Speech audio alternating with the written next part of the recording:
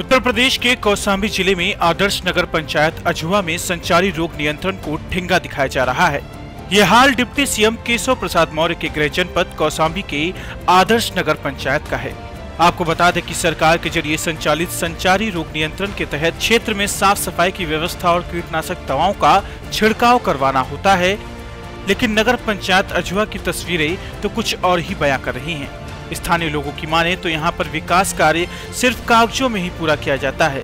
वास्तविकता में कुछ होता फ़िलहाल नज़र नहीं आ रहा है और नगर पंचायत में ज़्यादातर बदहाली ही दिखती है।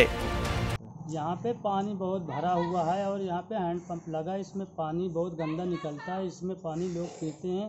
तो इसमें से बीमारियाँ फैलती है। आने जाने को बहुत लोगों को तकलीफ़। आपने शिकायत शिकायत की अधिकारी से? कार्य से कई बार शिकायत किया गया है। इसका मतलब अभी कोई हल नहीं हुआ है।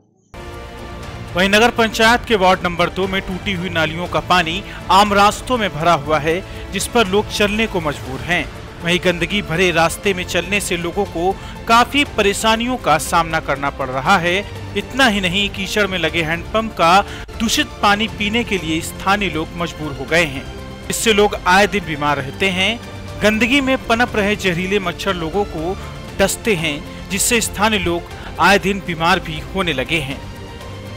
पिछले दिनों क्या हुआ, जब से क्या कहते हैं, कार्यकाल अध्यक्ष महोदय का चल रहा है, ग्रामीण इलाके, खासतौर पर वार्ड नंबर चार और पाँच में सड़कें काफ़ी खराब थी। तो दो तीन साल में क्या कहते हैं, दो तीन साल में जहाँ जहाँ वोट प्रस्ताव पास हुआ, वहाँ वहाँ हमने काम करवाया।